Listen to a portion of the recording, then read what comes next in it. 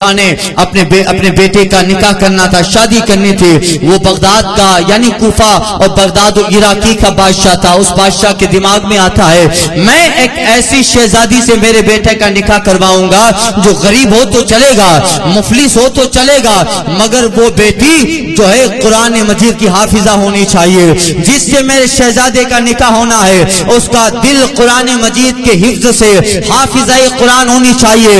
اب کوفہ اور آس آس پاس کے علاقوں میں کئی ایک بچیاں مل جاتی جن کے سینے میں پورا قرآن یاد تھا۔ وہ بادشاہ اپنے وزیر سے کہتا ہے، کیا کیا جائے؟ کس کی جو ہے، کس کی شہزادی سے نکاح کی اپنے بیٹے کا رشتہ لایا جائے؟ کوئی ترکیب بتا کہاں ڈھونڈے کہ حافظ قرآن حافظ قرآن کون ہے؟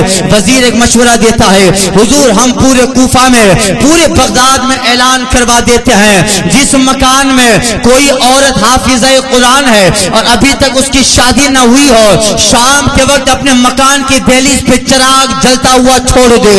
ایک جو دیا جلتا ہوا چھوڑ دے، جس کے مکان کی آنگن پہ رات کو چراغ جلے گا۔ ہم لوگ دیکھنے آئیں گے جو مکان کے دروازے پہ چراغ کا جلنا اس بات کی علامت ہوگی کہ اس گھر میں حافظ قرآن ہے، جس کے مکان میں دو عورتیں حافظ قرآن ہے۔ وہ دو چراغ اپنے مکان پہ رکھے، جس میں تین بچیاں حافظ قرآن ہے۔ وہ تین چراغ اپنے مکان پہ رکھے اعلان کروا دیا گیا۔ ظاہر بات ہے، بہت سارے باپ کی یہ خواہش ہوتی ہے، میری بیٹی کا نکاح بادشاہ کے شہزادے سے ہو جائے، اعلان ہوتا ہے، شام کا وقت ہوا، بادشاہ جب اعلان کے بعد کوفہ و بغداد میں نکلتا ہے، کیا دیکھتا ہے؟ بغداد و کوفہ کو کوئی ایسا گھر نہ تھا جہاں پہ چراغ نہ جل رہا ہو، ہر مکان پہ ایک ایک دو دو چراغ جل رہے ہیں۔ بادشاہ دیکھ کے دنگ رہ جاتا ہے، وزیر سے کہتا یہ کیا؟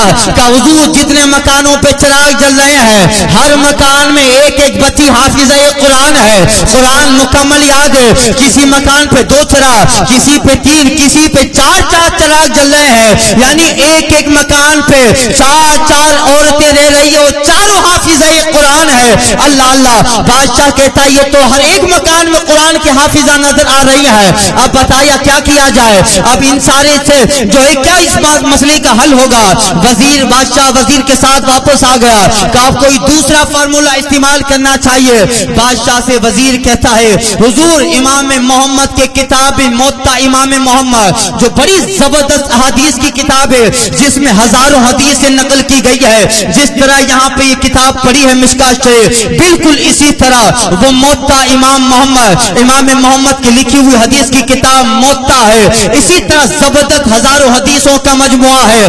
ہزاروں حدیث امام محمد جو امام آدم کے شاگرد ہے انہوں نے اس کتاب میں ہزاروں احادیث جمع فرمائی ہے۔ بادشاہ سے وزیر کہتے ہیں، حضور اعلان کرا دے۔ اب جس بچی کو پوری موتا امام محمد یاد ہوگی، بادشاہ اس بچی سے اپنے شہزادی کا نکاح کروائے گا اور جس کو پوری موتا امام محمد یاد ہے، وہ بچی رات کو شام کے وقت اپنے دہلیز پہ چراغ جلتا ہوا چھوڑ دے۔ اللہ اللہ، وزیر سوچ رہا تھا، چلو قرآن تو سب کو یاد ہے، ایک عام بات ہے، مگر حدیث کی یہ زبردست کتاب جس میں ہزاروں حدیث سے نقل کی گئی ہے، شاید کم لوگوں کو یا کسی کو یاد ہو نہ ہو۔ اللہ اللہ، شاہ اعلان ہونے کے بعد شام کو جب بادشاہ اپنی فوج اپنی وزیر کے ساتھ نکلتا ہے، کیا دیکھتا ہے؟ آدھے سے زیادہ بغداد کے مکانوں پر چراغ چلتا ہوا نظر آ رہا تھا۔ ایک ایک گھر میں موتا امام محمد کی حافظہ نظر آ رہی ہے۔ ہزاروں احادیث کا ذخیرہ ان بچیوں کی سینہ میں محفوظ تھا۔ بادشاہ کی آنکھوں میں ہنسو نکل آتے ہیں۔ بادشاہ کہتا ہے، میں تو سال میں ایک مرتبہ گھر کے باہر نکلتا ہوں۔ آخر میرے اس شہر کو، میرے اس علاقے کو، اس قدر علم سے کتنے نوازا ہے؟ آخر اس قدر علم کا دور کس نے دایا؟ وہ وزیر جواب دیتا ہے، حضور آپ کبھی لوگوں کے معاملات کے زیادہ دخل نہیں لیتے۔ آپ کے پاس جو میٹر آتا ہے، وہ میٹر سلجھا کے آپ جو ہے، اپنے محل سرائی میں چلے جاتے ہیں۔ حضور دیکھا، بغداد کے ہر گھر میں دو دو تین تین بچی حافظ قرآن ہے۔ اور جہاں بات آئی تھی موتا امام محمد کے، ہر مکان میں موتا امام محمد کی حافظہ ایک ایک بچی نظر آ رہی ہے۔ بادشاہ کہتا ہے، آخر میرا شہر اس قدر علم کا گہوارہ کیسے بن گیا؟ میں نے تو کبھی اس طرف نظر نہ اٹھائی۔ وزیر کہتا ہے، حضور، یہ سارا کمال ابو حنیفہ کے علم کا ہے۔ یہ سارا کمال مولائے کائنات کے علم کا ہے۔ اس زمین پر بیٹھ کر مصطفیٰ کی احادیث، قرآن کا علم اور لوگوں کے سینوں کو اس طرح مصطفیٰ کی احادیث و قرآن کے حوالے سے بھرا ہے۔ امام آدم کے زمانے سے پہلے جب مولائے کائنات کا دور ہے، حضرت علی نے اس قدر نوازا تھا، سارا علاقہ علم سے بھرتا چلا گیا۔ انہی کے علم کا حصہ ابو حنیفہ کو ملا۔ ابو حنیفہ نے کوفائی نہیں پورے عراق کو ایسا نوازا آج جو سارے مکانوں پہ چراغ جلتے نظر آ رہے ہیں۔ ہر مکان میں حافظہ قرآن اور حافظہ محتا محمد نظر آ رہی ہے۔ اے بادشاہ سلامت یہ سارا فیضا ابو حنیفہ کی دستگاہ سے نکلا ہے۔ ابو حنیفہ کی بارگاہ سے نکلا ہے۔ اور یہ بارگاہ کا فیضا صرف ہمارے علاقے کا ہی نہیں، آپ دنیا کی جس حد میں چلے جاؤ، آپ کو دنیا کے کنارے تک امام اعظم کے علم کی خوشبو محسوس ہونے لگے امام اعظم کے علم کی خوشبو محسوس ہوگی۔ بادشاہ کہتا ہے، ایسا پریورتن، بتائیے کیسا دور رہا ہوگا؟ ایک بچی مکان میں رہتی ہے، اس کو قرآن بھی یاد ہے اور ہزاروں حدیث بھی موتا امام محمد کی یاد ہے۔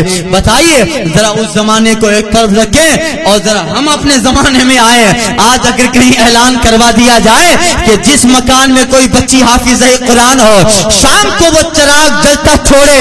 رات کو جب نکلیں گے نا، سارا شہر ویران نظر آئے گا۔ کہیں چراغ جلتا ہوا نہ دکھے گا۔ اس لیے کہ ہم نے اپنا پورا وقت ان کتابوں کی بجائے، احادیث کے ذخیرہ کی بجائے، مصطفیٰ جانی رحمت کے ان علوم کی بجائے، ہم نے پورا وقت انٹرنیٹ میں گزارنے کے عادی بن گئے۔ ہم اپنا پورا وقت ٹی ویوں کے اندر صرف کر ڈالا۔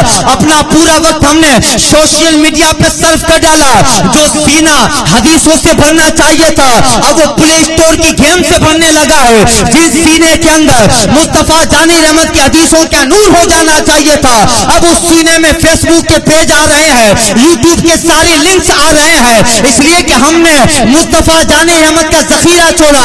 یہودی نے اس بات کا فائدہ اٹھایا اور ہمارے سینے میں ساری دنیاوی مادی چیزیں ڈال ڈالی۔ اب شاید اعلان کیا جائے تو سارا شہر ویران نظر آئے گا اور ملک گھوم ڈالو۔ شاید کوئی بچی موتا امام محمد کی حافظہ نظر آئے گی۔ ہم نے علم سے رشتہ توڑا۔ مادی چیزیں ہمارے دماغ، ہمارے ذہن و فکر، ہمارے قلب میں آتی گئے۔ نتیجہ یہ نکلا۔ فیضان علم بھی دور ہوتا گیا۔ فیضان ابو حنیفہ بھی دور ہوتا گیا۔ فیضان علی بھی دور ہوتا گیا۔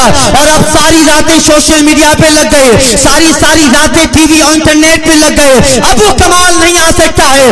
اس کمال کے لیے ماحول کا بہتر ہونا ضروری ہے۔ اس کمال کے لیے فیضان ابو حنیفہ کا ہونا ضروری ہے۔